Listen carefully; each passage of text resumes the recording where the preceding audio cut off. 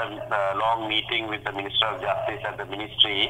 Mr. Sambandhan and I participated at the meeting. Uh, this is because yesterday, uh, when the minister uh, spoke to the prisoners and asked for time till the end of the year, uh, they didn't accept it.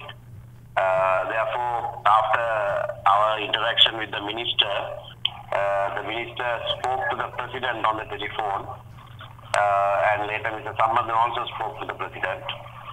The president has uh, now given an undertaking that it won't take as long as uh, the end of the year, uh, but before 31st October, that he will implement uh, a process uh, for the release of the prisoners, uh, and that that process will conclude by the 7th of November.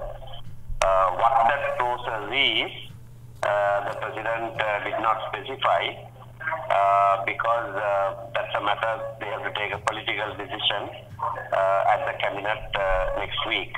Uh, but whatever it may be, the president's uh, undertaking is uh, that an acceptable solution uh, will be announced and implemented and concluded uh, latest by the 7th of uh, November. He wanted this uh, conveyed to the prisoners.